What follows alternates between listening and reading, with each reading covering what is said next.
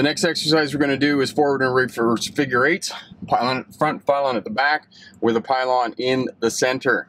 We're just going to go around and get lined up here. So forward figure eight. We drive in between the middle pylon and around. And again, being aggressive on the steering wheel. We got to move the steering wheel quickly. And the reason I want you to go faster is I want you to know that you're going to lose some of your steering